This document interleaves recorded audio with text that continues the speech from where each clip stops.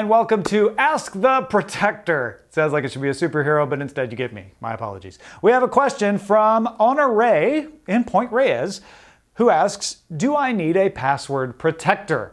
Yes, you probably do. Listen, a password protector or password manager uh, is probably what Honore means, is something that will securely keep all your passwords in a tightly encrypted place so that you don't have to remember them all. The big advantage is you can pick super long, super complex, super secure passwords that are unique for everything you need, and then just look them up or even have the password manager fill them in for you.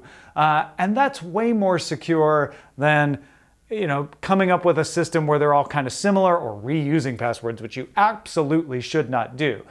The thing is, it is one single point of failure. So if your password manager got compromised, you're in bad luck. However, password managers, first of all, all offer two factor authentication. So do that, makes it much harder to get in. Pick a complex password that you can remember for the password manager, and that will help protect it.